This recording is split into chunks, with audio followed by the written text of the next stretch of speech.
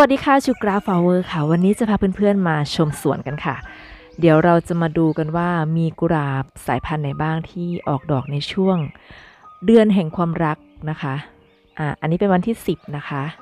นี่ที่เห็นอยู่นี่ก็คือ Vuvuzela นะคะ จะมีความคล้ายกับ Julia's มากๆเลย เราก็เลยสั่งซื้อ Julia's มาเปรียบเทียบฟอร์มดอกนะคะ นี่ อันนี้คือ Vuvuzela นะคะ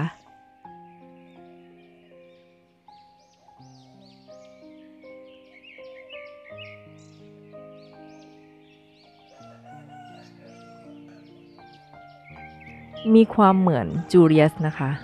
นี่ Vuvuzela นะคะ จากสวนสุพรีกลาเดนเลย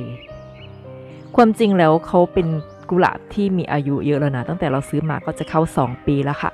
ทีเนี้ยมันผ่านฝนมาสักประมาณ 2 ฝนค่ะ มันก็จะเจอไดแบล็กนะคะ ก็ตัดไปกิ่งโน้นบ้างกิ่งนี้บ้างนะคะ กิ่งไหนเจอก็ตัดออกมันก็เลย ต้นไม่ใหญ่นะคะ นี่นี่อันนี้เป็นจูเลียสนะคะ เป็นต้นเล็กค่ะ สั่งซื้อถุงขาวมา นี่นะคะเขาออกดอกแล้วที่เห็นดำๆน่าจะเป็นเพลี้ยลงละค่ะอันนี้คือจูเลียสนะคะ สีก็จะมีความ แตกต่างกันอยู่นะ แต่ว่ารูปทรงดอกก็จะคล้าย ๆ กันเลยค่ะจูเลียสนะคะ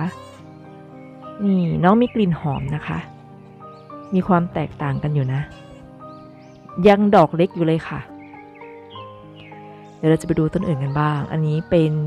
พิงโอฮาร่านะคะ จะเป็นกุหลาบที่บานช่วงวาเลนไทน์พอดีนะคะสำหรับพิงโอฮาร่าอันนี้เป็นวันที่ 11 นะคะ 11 กุมภาพันธ์นะคะ น้องก็จะบานประมาณนี้เลยอ่าและนี่ก็คือมูนสโตนนะคะ ดอกสวยหวานมากๆเลยค่ะ ต้นก็จะประมาณนี้เลย ยังไม่โตเท่าไหร่นะคะ แต่ว่าก็ไม่เล็กเลย เราก็จะปลูกกุหลาบกับพืชผักอย่างอื่นนะคะ แกรมๆรวมๆกันไป ไม่ได้จัดระเบียบอะไรมากมายนะคะ อันนี้เขาก็แทงยอดแทงกิ่งขึ้นมานะคะ เรื่อยๆเลยค่ะสำหรับมูนสโตนนะคะ เราก็จะให้เขาออกดอกช่วงนี้แหละค่ะ เพราะว่าช่วงอื่นที่เป็นไม่ใช่ช่วงฤดูหนาวนะคะเขาก็จะไม่ค่อยสวยนะคะ ช่วงนี้ก็ให้ปล่อยให้เขาออกดอกไปก่อน นี่นะคะ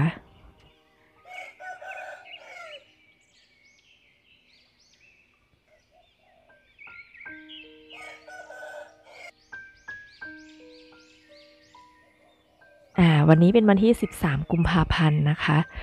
อันนี้เป็นพิงโอฮาร่าดอกตุมๆที่เพื่อนๆได้เห็นก่อนหน้านี้นะคะ เขาเริ่มบานแล้วนะคะ สวยเลยอ่าประมาณนี้นะคะ ดอกรอบนี้ไม่เล็กแล้วก็ไม่ใหญ่นะคะ เนี่ยค่ะ ดอกที่บานกำลังบาน ก็บานเต็มที่แล้วนะคะ ใช้เวลาประมาณ 2 วัน ก็จะได้ประมาณนี้ค่ะ ค่อนข้างเอาใจยากนะคะสำหรับพิงโอฮาร่า อ่ามาดูต้นนี้กันบ้างค่ะ อันนี้เป็นกุหลาบไซส์จิ๋วนะคะ น้องชื่อว่าอะไรเอ่ย Scen Scented Jewel ค่ะ Scented Jewel นะคะสำหรับชื่อของน้องก็จะมีกลิ่นหอมแรงมาก ๆ เลยค่ะ เพิ่งได้มานะคะ อันนี้เป็นดอกรอบแรกที่เราได้ชมที่เราปลูกเองเลี้ยงเองนะคะ คือเป็นดอกรอบแรกค่ะ นี่คืออแปลตามตัวเลยค่ะ อัญมณีแห่งความหอม มีกลิ่นหอมมากๆค่ะ ถ้าจะเปรียบเทียบฟรอมดอกฟรอมต้นก็จะประมาณเดียวกับมินิอีเดนนะคะ แต่ก็จะค่อนข้างดอกใหญ่กว่านิดนึง น้องมีกลิ่นหอมมาก ๆ เลยนะคะ น้องชื่อว่า s e n s e j e w e l ประมาณนี้ค่ะ นี่นะคะ สีม่วงนะคะหอมชื่นใจค่ะาถามว่าเลี้ยงง่ายไหม ยังไม่ทราบเลยค่ะ เพราะว่าเพิ่งรู้จักกันนะคะ จะต้องรอชมตอนต่อไปนะคะ เดี๋ยวเราจะไปดูต้นอื่นกันบ้างนะคะ อันนี้เป็นโรซิต้าเวนเดรานะคะ ดอกกุหลาบที่มีสีชมพูหวานแหววมากๆเลยค่ะ ออกสีชมพูนม แต่ว่ารอบนี้นี่ค่อนข้างที่จะเจือจางนะคะ สีเจือจางมากๆเลย แต่ว่าน้องเป็นกุหลาบตัดดอกนะคะ บานทนด้วยสำหรับโรซิต้าเวนเดรานะคะ นี่ ช่วงที่เป็นฤดูฝนนะคะไดแบล็กก็กินไปหลายกิ่งเลยค่ะ ตัดทิ้งนะคะเอามาดูต้นนี้กันบ้างนะคะ นี่เป็นวันที่น่าจะเป็นวันที่สิบสองนะคะสำหรับอันนี้ที่เราถ่ายไว้นะคะ เพราะว่าเป็นกุหลาบกุหลาบต้นที่เราถ่ายก็คือจะเป็นกุหลาบที่บานช่วงวันที่ 13-14 กุมภานะคะ ก็จะทันวาเลนไทน์พอดีสำหรับทอฟฟี่ต้นนี้นะคะ ดอกก่อนหน้านี้สองสามดอกเราตัดแช่ตู้เย็นไว้เรียบร้อยละเพราะว่าเขาบานไม่พร้อมกันนะคะ เราก็เลยตัดแช่ตู้เย็นไว้ เพื่อที่จะถ่ายรูปในวันวาเลนไทน์นะคะ อันนี้ก็เริ่มบานแล้วค่ะ เดี๋ยวจะไปดูวันที่ 14 กันว่า พรุ่งนี้นะคะว่าเขาจะเป็นอย่างไรนะคะอ่าต้นข้างๆกันก็คือ Double Delight นะคะ นี่นะคะ บานแล้วค่ะ บานก่อนละ เรื่อยๆนะคะสำหรับ Double Delight อ่า มีเพลี้ยไหมเพลี้ยค่อนข้างรักเลยค่ะ ความจริงเขาก็ชอบทุกต้นแหละเพลี้ยเขาก็เลือกกินได้ตามสบายเลยค่ะเพราะว่ามันมีเยอะนะคะ อันนี้เป็นมิยาบินะคะ คลิปนี้ก็ไม่ค่อยมีสาระอะไรมากมายนะคะ เพราะว่าเราจะพาเพื่อนๆชมสวนในช่วง ระหว่างวันที่ 10 ถึง 14 กุมภาพันธ์นะคะ เดี๋ยวเราจะบอกว่าดอกไหนต้นไหนวันที่เท่าไหร่นะคะ ก็อาจจะสลับไปสลับมานะคะ อันนี้เป็นมิยาบิต้นเล็กนะคะ นี่อ่าที่เห็นอยู่นี่ก็จะเป็นควิกแซนนะคะควิกแซนนี่ถ่ายประมาณวันที่ 10 ค่ะ ที่เห็นอยู่นี่คือวันที่ 10 นะคะ เดี๋ยวเราจะบอกวันที่ไปเรื่อยๆนะคะ เพราะว่าสเต็ปการบานของเขาสวยมากๆเลยค่ะ นี่คือวันที่ 10 นะคะ ที่เราถ่ายคลิปไว้ เขาออกเป็นช่อเลยค่ะ ส่วนที่เห็นนี่ก็คือวันที่ 10 เหมือนกันนะคะ น้องคือทรอยเมรัยค่ะทรอยเมรัยนี่ออกดอกไปรอบนึงแล้วนะคะ ที่สวยๆ ปังๆอะ่ะ แต่มารอบนี้ดกค่ะ แต่ว่าสีสีเหมือนจะจางๆนะคะ ฟร์มดอกไม่ค่อยจะได้นะคะอ่าอันนี้เป็นไซคีนะคะ ไซคีให้กิ่งกระโดงมาหนึ่งกิ่งค่ะ ชื่นใจนะคะสำหรับไซคี ค่อนข้างมีอายุเหมือนกันนะคะสองสามปีละต้นนี้ นี่ให้ดอกไปหลายรอบแล้วนะคะ โรยไปแล้วก็มีหลายกิ่งเลยค่ะ หลายช่อเลย ให้ดอกเก่งนะคะสำหรับไซคีแต่ว่าเพลียรักเหลือเกินค่ะ บางครั้งฟอร์มดอกก็ไม่ได้นะคะ บางครั้งแทงยอดแทงยอดอ่อนขึ้นมา หรือว่าแทงดอกขึ้นมาก็ใบหยิกอย่างเงี้ยค่ะ คือเพลียไฟนะคะ เดี๋ยวคลิปหน้าเราจะมาบอกมามาคุยถึงเรื่องปัญหาต่างๆนะคะ เอาคลิปนี้มามาชมก่อน อันนี้เป็นออกุสตารุยนะคะ ออกุสตารุยนี่เป็นวันที่ 10 นะคะ เดี๋ยวจะโชว์สเต็ปการบานของเขานะคะ ก็จะต้นประมาณนี้เลย อันนี้ก็เลี้ยงจากน้องถุงขาวนะคะ ต้นเล็กๆ ที่แรกก็ไม่ได้สนใจใยดีอะไรมากมายนะคะ พอเห็นดอกแล้วหืออลังการมากๆเลยค่ะ เขาให้ดอกเป็นช่อนะคะ ให้ดอกเป็นช่อดกมากๆเลย ดอกบานก็สวยนะคะ ดอกตูมก็สวยค่ะ เขาไม่เคยมาดอกเดียวนะนะน้อยน้อยมากที่จะมาดอกเดียว อันนี้ก็ดอกเดียวนะคะ ไม่ใช่ว่าไม่เคยมา พูดผิดนะคะ ขออภัย อันนี้เวลาดอกเขาบานเต็มที่เขาก็จะเป็นเม็ดสีเหมือนเราสาดสีอะค่ะ กระจัดกระจายนะคะ สวยงามมากๆอ่าอันนี้เป็นใครเอ่ย อันนี้เป็นมาโซระนะคะ มาโซระอันนี้วันที่ 10 นะคะ 10 หรือ 9 10 นั่นแหละค่ะ นี่นะคะ ดอกก็จะตุ่มๆอยู่ประมาณนี้ นี่นะคะ อันนี้เป็นเบียทิสนะคะเบียทิสนี่ เพลียก็รักเหลือเกินค่ะ เป็นสาวอังกฤษนะคะ พุ่มสูงค่อนข้างบานทนเลยค่ะ แต่ว่าน้องจะเป็นกุหลาบที่ไม่รู้ทำไมเพลียรักเหลือเกินค่ะ แต่ให้ดอกเก่งนะคะสำหรับเบียทิส ถ้าใครเลี้ยงน้องอยู่แล้วสามารถควบคุมเพลียได้นะคะ น้องจะเป็นกุหลาบที่สวยมากๆเลยค่ะ เป็นหนึ่งในกุหลาบเจ้าสาวนะคะสำหรับเบียทิส มีลักษณะคล้ายคลึงไม่ว่าจะเป็นใบหรือว่าทรงดอกนะคะ ก็จะคล้ายๆกับเคสค่ะ เพียงแต่ว่าคนละสีเท่านั้นเองนะคะ ใบเขาสวยนะคะอ่าอันนี้ที่เห็นนี่ก็คือ Radio Time นะคะ อันนี้ก็สาวอังกฤษเหมือนกันค่ะ เขาเป็นกุหลาบพุ่มสูงกึ่งเลื้อยนั่นแหละค่ะ หรือใครจะเลี้ยงให้ขึ้นซุ้มก็ได้นะคะ น้องสามารถเลื้อยขึ้นซุ้มได้ สีเขาสวยนะคะสำหรับอ่า Radio Time สีสวยมากๆค่ะ เขาออกสีส้มแซลมอนนะคะ ออกพีชออกแนวพีชประมาณนั้นค่ะ ถ้าไม่อยากให้เขาเลื้อยก็ตัด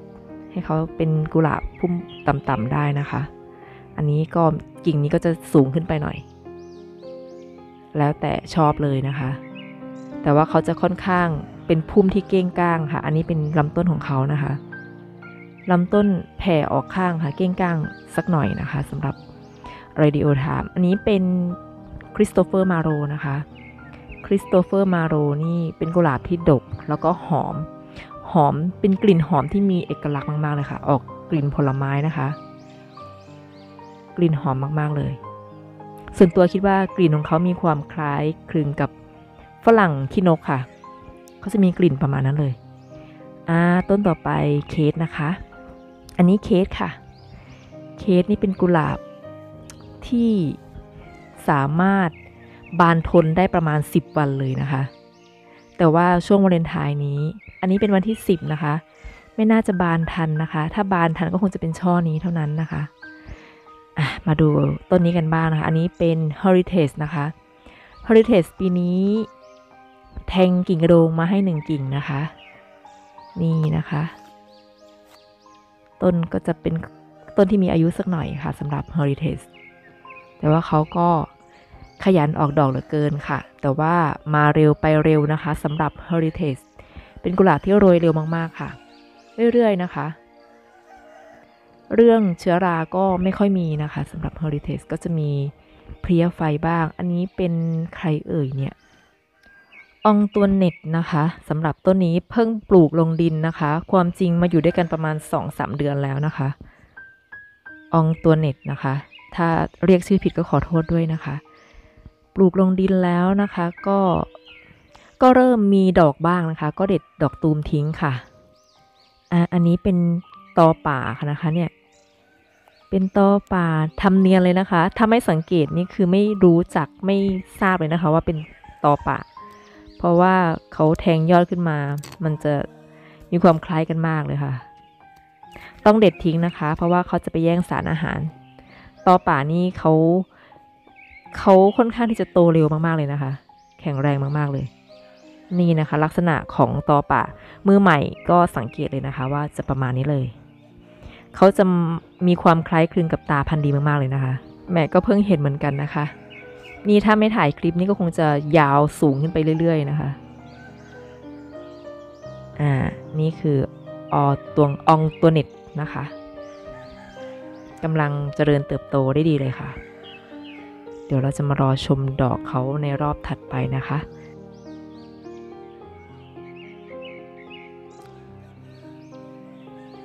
มาดูต้นนี้กันบ้างนะคะ ต้นนี้คือ คือใครเอ่ยอ้อฟิลเลอร์ค่ะ น้องฟิลเลอร์ต้นนี้เป็นกุหลาบถุงขาวนะคะ แกะใส่กระถางเมื่อสองสามอาทิตย์ที่แล้วนะคะ เขาก็จะค่อยๆแตกกิ่งกระโดงขึ้นมานะคะ เป็นกุหลาบที่อยากได้มากๆเลยค่ะ ก็เลยซื้อน้องถุงขาวมานะคะ เพราะว่าราคาไม่แพงนะคะสำหรับถุงขาว เริ่มให้ดอกนะคะ นี่ลักษณะดอกก็จะประมาณนี้เลย ถึงจะดอกเล็กแต่ว่าฟอร์มดอกก็จะประมาณนี้นะคะสำหรับฟิลเลอร์ สวยนะคะเป็นกุหลาบที่สวยหวานแหววมากๆเลยต้นนี้เป็น Shadow of the Moon นะคะ อันนี้ก็เป็นกุหลาบถุงขาวเหมือนกันนะคะ ช่วงนี้ก็จะซื้อกุหลาบถุงขาวมา มาขุนนะคะ เพราะว่าเป็นช่วงฤดูหนาวก็จะขุนง่ายหน่อย นี่นะคะ ก็ค่อยๆ แทงยอดขึ้นมา อันนี้เป็นดอกของเขาก็จะประมาณนี้นะคะ ดอกสวยมากๆค่ะ ถึงจะเล็กแต่ว่าก็ยังมีแววความสวยน่ารักอยู่นะคะ สีก็จะออกม่วงๆพาสเทลนะคะสำหรับ Shadow of the Moon นะคะ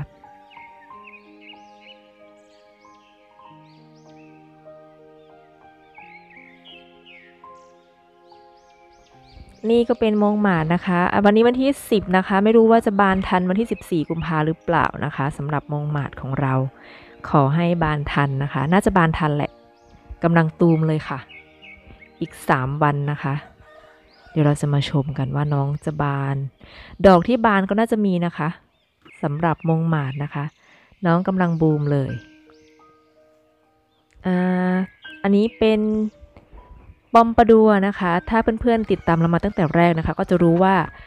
เราเคยลงคลิปต้นนี้ไปแล้วนะคะ กลับย้อนไปดูได้ เขาเป็นกุหลาบที่ค่อนข้างที่จะมีปัญหานะคะสำหรับต้นนี้ เขาก็เลยไม่ค่อยโตนะคะ ความจริงน้องอายุเยอะแล้วนะประมาณ 2 ปีกว่าๆได้ชื่นใจค่ะ น้องเป็นกุหลาบที่หอมมากๆค่ะ เป็นกุหลาบฝรั่งเศสนะคะ ถ้าจำไม่ผิด เป็นกุหลาบฝรั่งเศสที่มีกลิ่นหอมมากๆ แล้วเขาก็จะดอกโตด้วยนะคะ แต่ว่าอันเนี้ยเขาค่อนข้างที่จะต้นแขกแกรน เพราะว่าเขาเคยเคยเกือบตายมาก่อนนะคะ เราก็เลยค่อยๆ ประคับประคองมาก็เลยได้ชมดอกมาเรื่อยๆนะคะอะอันนี้เป็น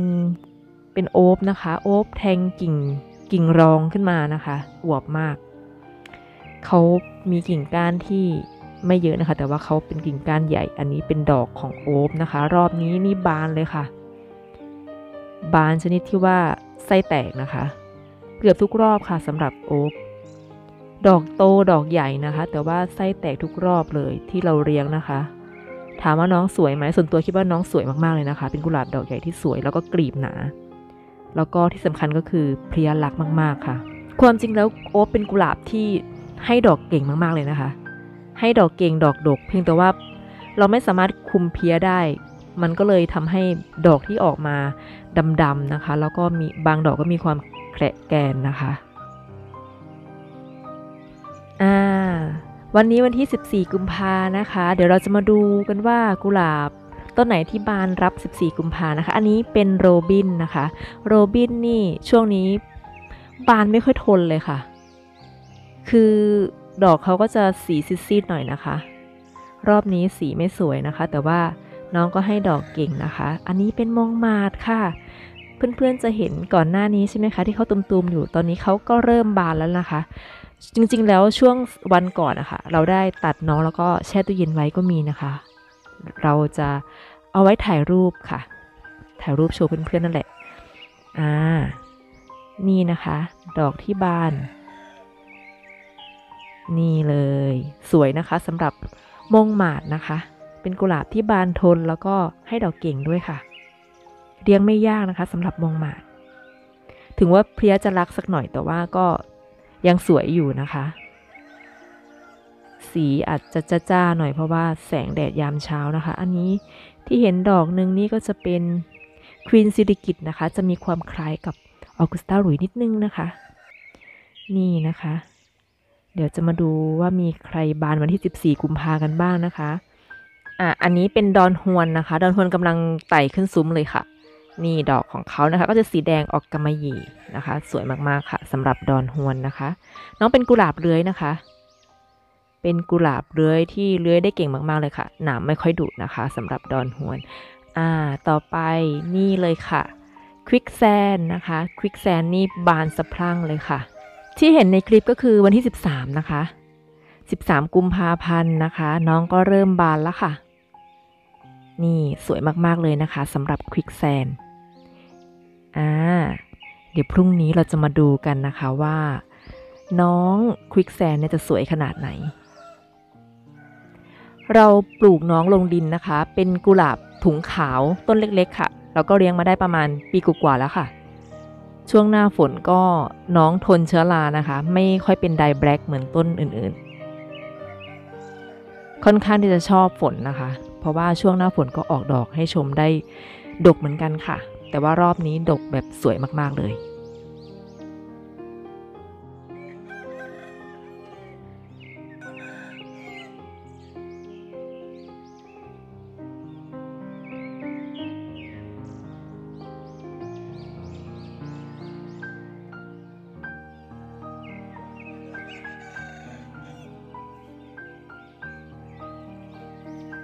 เดี๋ยวจะมาดูท็อฟฟี่กันบ้างนะคะท็อฟฟี่รอบนี้ดอกเล็กลงค่ะ แต่ว่าก็ยังให้ดอกได้ชมเรื่อยๆนะคะสำหรับท็อฟฟี่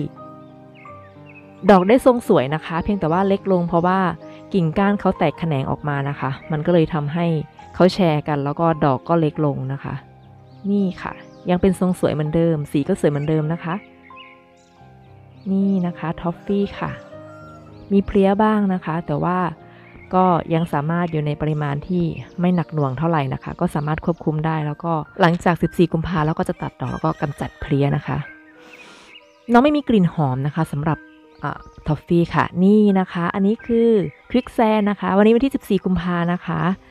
น้องบานสะพรั่งได้สวยมากๆค่ะ สวยนะคะ บานเป็นสเต็ปเลยอ่าสามารถจัดเป็นช่อดอกไม้ได้ช่อหนึ่งเลยล่ะค่ะ นี่นะคะ สวยมากๆค่ะสำหรับควิกแซนของเรา น่าจะเป็นกุหลาบ